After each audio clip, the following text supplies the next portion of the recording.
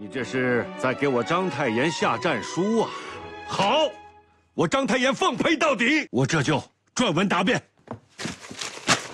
他学儒学道学佛，学问极好，但比他学问更好的是他骂人的水平。他被称为中国最后的经学大师，但他一生又致力于将孔夫子拉下神坛。他最不喜欢用白话文写作，但他最出色的弟子笔名鲁迅。章太炎，民国一个学问极高、脾气极大的人。他的学生鲁迅曾经在文章中写过这样一个趣事：民国元年，先生在北京好发议论，而且毫无忌惮的褒贬常常被贬的一群人，于是给他起了一个绰号，曰张疯子。但每次有言论，也仍在他们的报章上登出来，不过题目特别，道张疯子花旗疯。有一回，他可是骂到他们的反对党头上去了，那怎么办呢？第二天报上登出来的时候，那题目是张疯子居然不疯。被张疯子骂过的人，包括但不限于正在当太后的慈禧，正在当皇帝的光绪，正在当大总统的袁世凯，还有正在当总司令的蒋介石。也因此，章太炎一生七次被捕，三次被囚，一生有十分之一的时间在囚禁中度过。章太炎的学问水平究竟高在哪里？章太炎对鲁迅的影响又有多大？为什么鲁迅认为章太炎在革命上的成就高于学术？大家好，我是咸木鱼，这是我真实系列视频的第十一期节目。我相信那些活在纸面上的人物，也曾有过丰满的人生。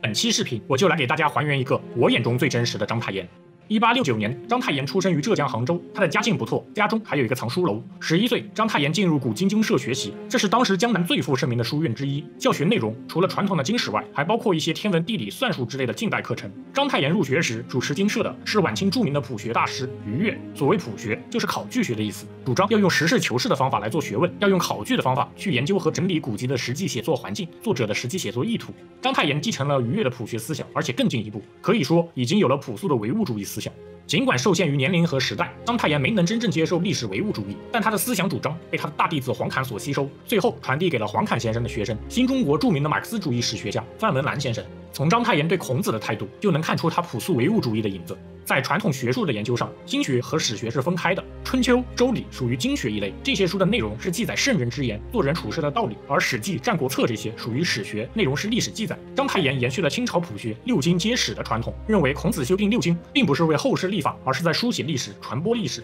在他著名的《求书》中，他写：“孔氏，古良史也，夫以秋名而赐春秋。”意思是孔子不是什么至圣先师，更不是圣人或者素王，应该把他看作一个修订了六经的史学家，对历史研究做出过开创性的成绩。因为在孔子之前，历史记载零零散散，有了孔子修订春秋等著作，才有了后来的左丘明、司马迁、班固等史学大家。章太炎这么做的目的非常明确：戊戌变法失败后，慈禧囚禁光绪，康有为等人为了赶跑慈禧，拼命鼓吹儒家效忠帝王的思想，通过把孔子吹捧为教主来恢复光绪的权威。而章太炎的做法就是将被无限拔高的孔子重新描述为一个朴素的历史人物，肯定他修历史、正学术、凭阶级的贡献，但不认为他说的每一句话都是玉律金科，都是必须无条件遵守的圣人之言。这样既不完全否定传统儒家思想，又抹去了皇权的神圣性。鲁迅对孔子的态度受章太炎影响非常深。后来鲁迅写故事新编，将包括孔子在内的大量历史人物塑造成有血有肉且有趣的凡人形象，这就是章太炎思想的一种体现。章太炎对佛学的态度同样如此。清末中国佛教衰败严重，僧人有不少根本不识字，更别说学习佛经。寺庙的主营业务就剩下了替信徒收钱办法事，或者跟别的寺庙争抢地盘，酒肉穿肠过，佛祖脑后抛。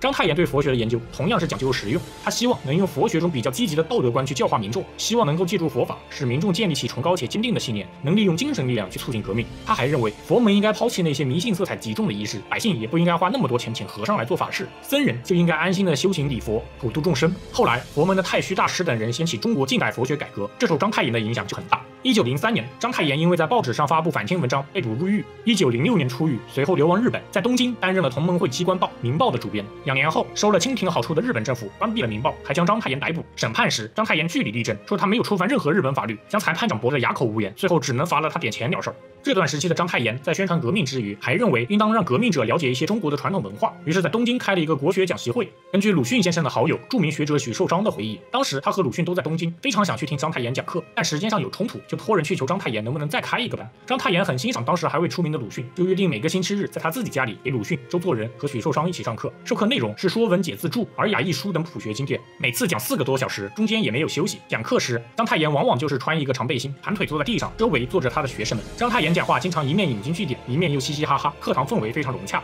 鲁迅实际跟随章太炎的时间不长，只有一年左右，但这给鲁迅打下了很好的就学基础，极大填补了鲁迅在古文、古字方面的知识空缺。一九零八年，鲁迅在河南杂志上接连发表了《文化偏执论》以及《破恶生论》这两篇文章，都是受章太炎影响写成的。回国后，鲁迅在北洋政府教育部当公务员，负责制定注音字母，这也离不开章太炎在日本的教育。章太炎在学术上的成就极高，对诸子百家、古文典籍以及史学、佛学等领域都有非常深入的研究，对后来五四时期的新一代学者们有非常大的影响。新文化运动时期，北大那批著名的教授，除鲁迅外，还有黄侃、钱学同、朱熹祖、沈监士等人，都是章太炎的学生。胡适最著名的那本《中国哲学史大纲》，部分观点就是承袭自章太炎早年写的《国故论衡》。胡适成书后，还给章太炎寄了一本，章太炎看了不太满意，还回信说：接到《中国哲学史大纲》，定有见解，但诸子学术本不容易了然，总要看他的宗旨所在，才得不错。如但看一句两句好处，定都是断章取义的所为，不尽关系他的本意，人望百尺竿头，再进一步。章太炎认为胡适对庄子存在较大的误解，还特别叮嘱他说：你要细看。对于这样一位学术大家兼恩师，鲁迅对他的盖棺定论却是：我以为先生的业绩留在革命史上的，实在比学术史上还要大。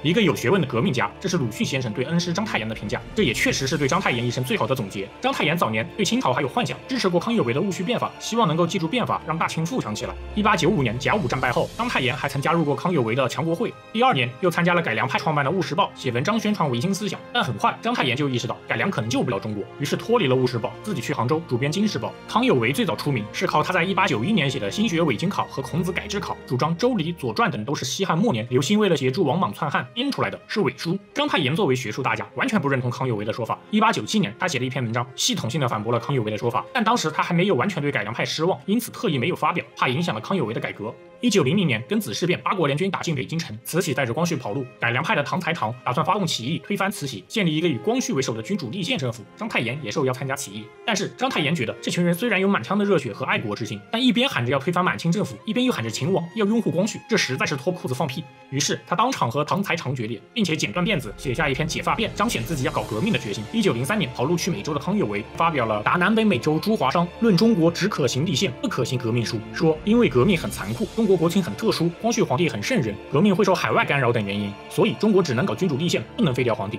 章太炎看到后，还立刻写下一篇《驳康有为论革命书》，不但指出康有为的所有观点都是放屁，还怒斥了清朝历代君王的暴行，指出中国当下最大的问题就是在于清政府过于腐朽无能。这篇文章甚至还直接怒斥光绪皇帝是宰田小丑，不辨书脉。宰田就是光绪的名字，不辨书脉是一个成语，意思是统治者不了解民情，分不清豆子和麦子。这八个字一出，石破惊天。要知道那会儿老佛爷可还活着，大清也还没亡。这篇文章最早刊登在《苏报》上，直接将这份销量一般般的小报卖脱销了好几次。当时的《苏报》还介绍了邹容先生写的《革命书》，这是一本强烈主张要用暴力革命推翻满清统治的书，这让清廷大为惶恐。第二天，章太炎就被抓进了监狱，随后邹容自己也自首，报纸也被查封。这就是满清最后一桩文字狱，史称“苏报案”。清政府派人冲进报社时，章太炎直接走了出来，说：“革命就是要流血，怕什么？清政府要抓我，这是第七次了，别人都不在，要拿章太炎，我就是。”慈禧原本的计划是第一日把章太炎抓起来，第二日押到苏州，第三日到南京，第四日就带回北京临时处死。但所幸报社设立在上海的英租界，清政府没有司法权，慈禧只完成了第一日的计划，把章太炎抓了起来，但不能带他出租界，只能在租界内审理此案。对于章太炎来说，做到这一步，他就已经创造了一个历史性的笑话。因为这场审判，法官是英国人，原告是清政府，起诉章太炎造反，还请了英国律师进行辩护。清廷作为一个延续了三百年的中央王朝，在他生命的最后岁月，竟然要在他自己的国土上，以原告的身份，在外国人的法庭里平等去起诉一个革命党。最终，因为章太炎在法庭慷慨陈词，慈禧没能判处章太炎斩立决，只能将他关押三年。章太炎入狱后，清政府控制的新闻报还写了一篇论革命党，嘲讽章太炎。于是章太炎在狱中又写了一篇《狱中答新闻报反击》，并在结尾写下：“请看五十年后，同向巍巍立于云表者，唯我为尔，坐以待之。”章太炎虽然一生不喜欢白话文，但我觉得后来的鲁迅先生战斗力如此强悍，一定是从章太炎身上学来的。三年后，章太炎出狱，但是一同入狱的邹容，在出狱前两个月不幸病逝。章太炎怀疑当初他被捕是因为报社的同事，后来鼎鼎有名的吴志辉向清廷告了密，于是接连写文章公开痛骂吴志辉，说他还不如康有为这种人，是个外作书狂，内贪名士，史求全集，终慕虚荣者。气得吴志辉过了整整二十八年，还在文章中念叨着，要是哪天有机会，一定要用野蛮的法子把章太炎打一顿。在之前关于蔡元培的视频里，我提到过蔡元培组织光复会的往事。章太炎不但是光复会的元老，还是光复会最早的发起者。离开监狱后，章太炎流亡日本期间，因为和孙中山在《民报》的经费问题上发生了冲突，选择和同盟会决裂，并因此经常大骂孙中山。但后来辛亥革命成功，他还是立刻启程回国，参加了民国的建设。章太炎和孙中山在很多问题上一直理念不合，他尤其不赞成孙中山让袁世凯当大总统。后来因为蒋介石刺杀了陶成章，章太炎认为和孙中山有关，两人的关系更是进一步恶化。但他也一直坚持，他和孙中山只是个人矛盾，并不否认孙中山的革命。曾有人跟着他一起骂孙中山，他还跳起来给了一巴掌，说你算什么东西？总理是中国第一等一的伟人，除我之外，谁敢骂之？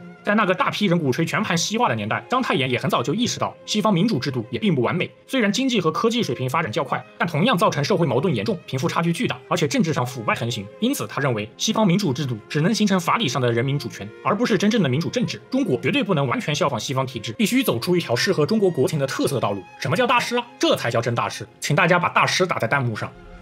袁世凯上台后，一步步抛弃了革命成果，开始为重新称帝做准备。对此，章太炎不断写文章痛骂，还将袁世凯内阁四个重臣称为四凶，这让袁世凯大怒，示意手下打电话把章太炎骗进北京。章太炎丢下新婚妻子，跑去北京，用袁世凯给他发的大勋章做扇子，站在总统府门口骂袁世凯包藏祸心，然后就被囚禁了起来。直到一九一六年，袁世凯在惶恐中病死，章太炎才重获自由。第二年，他就跟随孙中山参加了护法运动，担任海陆军大元帅府秘书长。后来，孙中山先生去世，蒋介石获得大权。如果说章太炎对孙中山只是个人矛盾，政治理念上有些冲突，那他对蒋介石就可以说是深恶痛绝。一九二四年，他就大骂过蒋介石奉行的三民主义是卖国主义、党治主义与民不聊生主义。两年后，他又公开反对蒋介石北伐，说他天生英智，反言罪素，还说想其一生行事，倡议有功者务必摧残之境，反口言国家主义者，谓之反革命，是其所谓革命者，非革他人之命，而革中华民国之命。气得蒋介石第二年就制定了一个著名学阀的名单，下令通缉。名单上第一名就是章太炎。一九三六年六月十四日，章太炎去世。在他生命的最后几年，他除了呼吁抗日外，几乎放弃了政治上的努力，一心躲在书房，研究起了他早年批判过的魏晋经学以及诸城理学。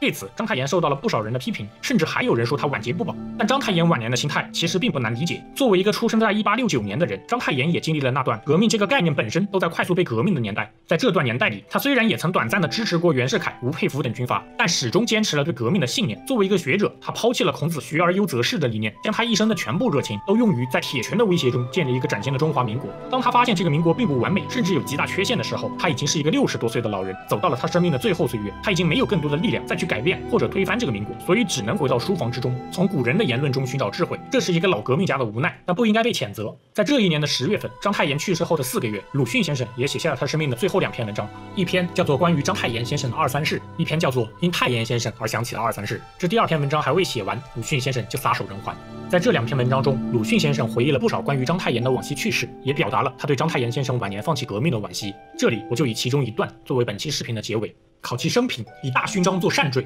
临总统府之门，大构袁世凯的包藏祸心者，病逝无第二人；七被追捕，三入牢狱，而革命之志终不屈挠者，病逝亦无第二人。这才是先哲的精神，后生的楷模。见有文快，勾结小报，竟也作文奚落先生，以自鸣得意，真可谓小人不欲成人之美，而且蚍蜉撼大树，可笑不自量。战斗的文章乃是先生一生中最大最久的业绩。假使未备，我以为是应该一一记录效应，使先生和后生相应，活在战斗者的心中的。然而此时此际，恐怕也未必能如所望吧。呜呼！